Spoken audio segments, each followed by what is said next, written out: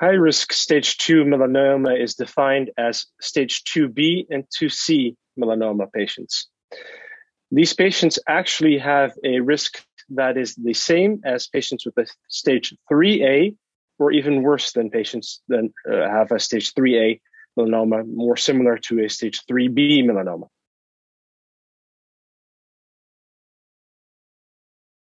The current standard of care for patients with stage 2B and 2C melanoma is a wide local excision of the scar area where the melanoma was previously diagnosed with a diagnostic excision with one or two centimeter margins, followed by a sentinel node procedure.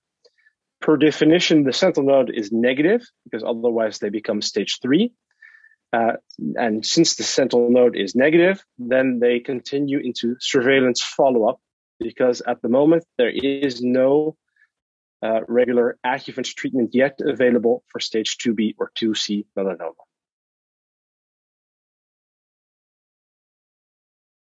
The Keynote 716 trial is a randomized phase 3 trial that randomizes patients between a year of fixed dose pembrolizumab at 200 milligrams every three weeks versus a placebo. This is part one of the trial until patients have a relapse. If they have a relapse, they are unblinded. And if they had the placebo, they can cross over into the pembrolizumab treatment. Or if they are more than six months after the last dose of pembrolizumab, they can be retreated with pembrolizumab. And that's two of the trial is still ongoing. And I've now presented only part one, the first results at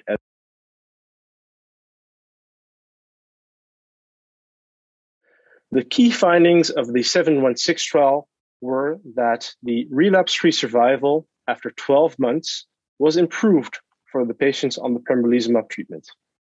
In absolute terms, there was a 7% difference, which means that 83% of patients on the placebo arm were disease free after 12 months and 90% after a year of adjuvant pembrolizumab treatment. In terms of distant metastasis free survival, the benefit was less. Or about half of the patients developed distant metastases as their recurrence, which means that the benefit was approximately 3 4%.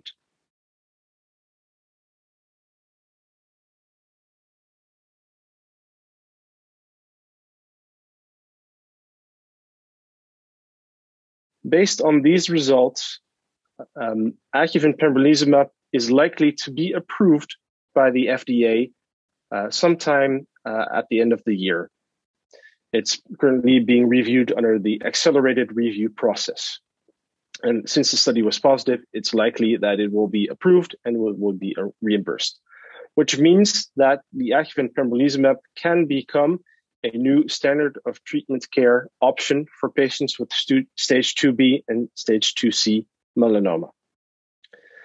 One important thing I consider for my personal practice is the number needed to treat.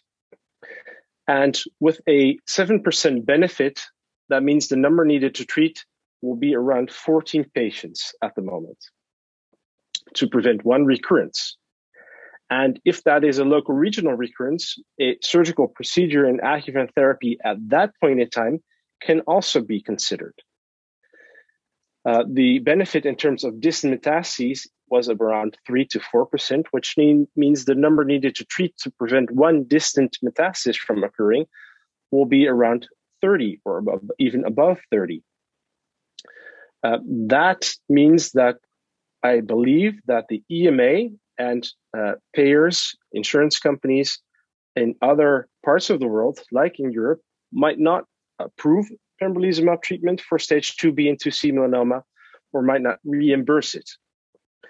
Personally, I think it will be a um, discussion you must have with your patients because uh, there is also the chance of adverse events that you need to weigh.